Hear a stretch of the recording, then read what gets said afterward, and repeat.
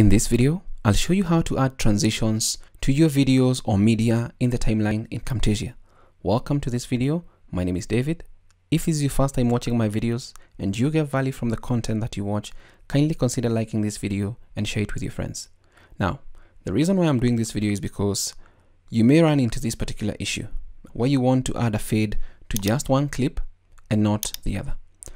When you add a fade to clips adjacent to each other or clips that are next to each other inside Camtasia, or basically in most of all nonlinear editing softwares, the fades or whatever type of transition you use affects both clips.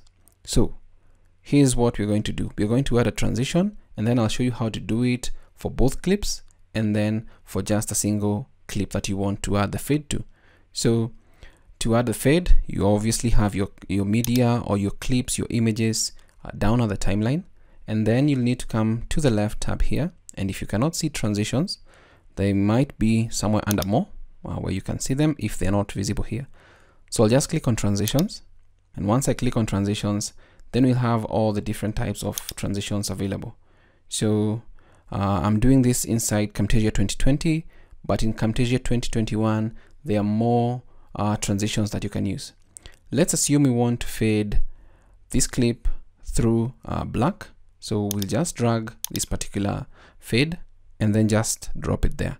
And whenever you hold a fade, uh, you'll see all the yellowing of the clips showing you that you can add those fades somewhere there. So once I drop that, you'll see that the fades appear here. So if I just zoom in, you'll notice that uh, the fade was applied to both clips. If you hold an end of the fade, then you can just pull it down to reduce the, the duration of that particular fade. Now, if I click on that and then separate, uh, let's press on shift and pull to the side, then the fades uh, will appear differently on the different clips. So you can easily right click and delete so that you can delete that fade from that, but still have it here. Let's press on control Z uh, to undo uh, those particular changes. Uh, so just to make it known out there that whenever you add a transition to clips that are joined together, this is what happens. The fade or whatever type of transition you've added is added to both clips. But if you actually separate both clips, even by just pulling, pulling one up uh, to a different track, you can easily just right click on that particular fade and delete it and then bring back your clip. So you'll just have the fade on one particular uh, end. So if I just play this, fades out into that. So uh, alternatively, instead of uh, doing that, uh, what you can do, uh, let's assume you have your clips. Let's just uh, bring this down.